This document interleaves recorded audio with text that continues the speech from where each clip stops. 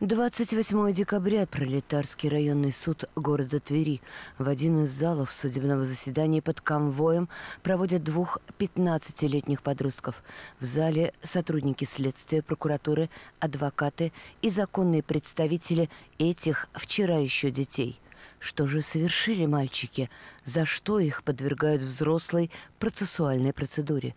А мальчики эти хладнокровно убили 62-летнего мужчину. 26 декабря 2022 года в ночное время двое несовершеннолетних жителей Пролетарского района города Твери без причины слуганских побуждений причинили телесные повреждения, в том числе с использованием предметов в качестве оружия, гражданину, также жителю Пролетарского района города Твери. От полученных телесных повреждений данный гражданин скончался на месте происшествия. В настоящее время возбуждено уголовное дело по части 2 статьи 105 Уголовного кодекса Российской Федерации.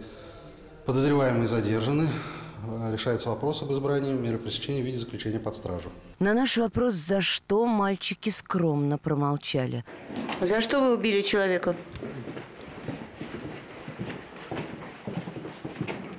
За что вы убили человека?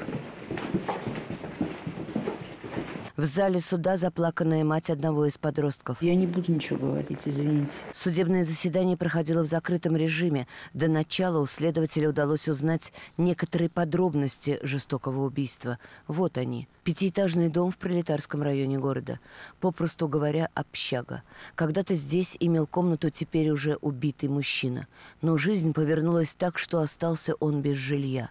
Решил коротать время в этих же стенах, но, как говорится, без удобств попросту бомжевал.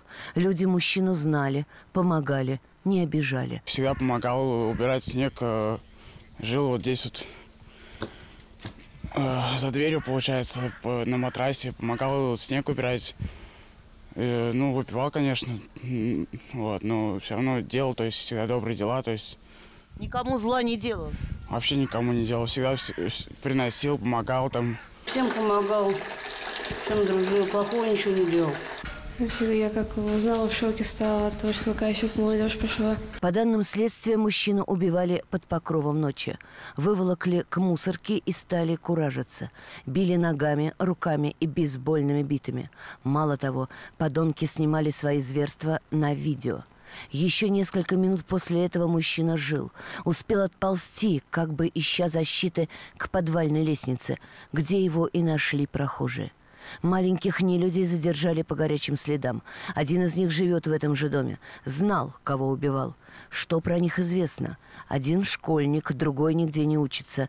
Кстати, в зале суда в качестве оправдания злодейству услышали, мол, жители этой пятиэтажки неоднократно обращались в администрацию района с жалобами на проживающих здесь бомжей.